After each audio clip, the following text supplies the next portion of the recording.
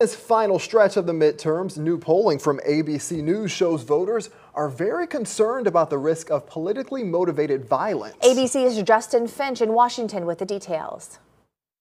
In a closing case to voters in California and New Mexico, President Biden declaring democracy is on the midterm ballot. There's too much political violence.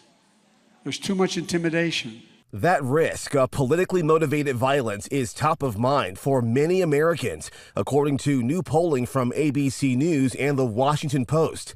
That polling finds 88% of adults are concerned that the nation is at an increased risk of political violence, with political division so starkly split. The poll comes one week after a man allegedly looking for House Speaker Nancy Pelosi broke into her California home and brutally bludgeoned her husband with a hammer. New York Governor Kathy Hochul telling CNN she's concerned about the spread of radical ideas. Every single elected official needs to call this out and condemn this violence. The nation's poll workers are already facing threats as well. Philadelphia's district attorney warning of consequences. Extremists of any type who are pondering interfering in any way with a free, fair, and final election better be warned.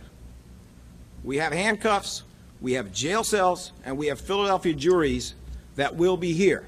And going into the final weekend of the campaign that could decide which party controls the Senate, three presidents will stump in Pennsylvania Obama, Biden, and Trump. Then this Tuesday, you must vote Republican in a giant red wave. This is a choice, a choice between two vastly different visions of America.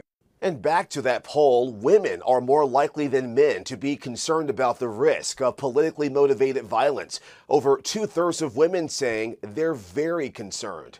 Justin Finch, ABC News, Washington.